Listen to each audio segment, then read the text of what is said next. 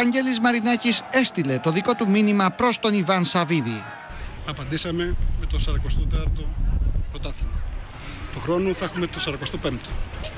Υπομονή να έχει ο κύριος Σαβίδης να μας βλέπει να πανηγυρίζουμε τα πρωταθλήματα. Και ο ίδιος να προσπαθήσει να κάνει κάτι καλύτερο στην ομάδα του. Δεν έχω να πω κάτι άλλο.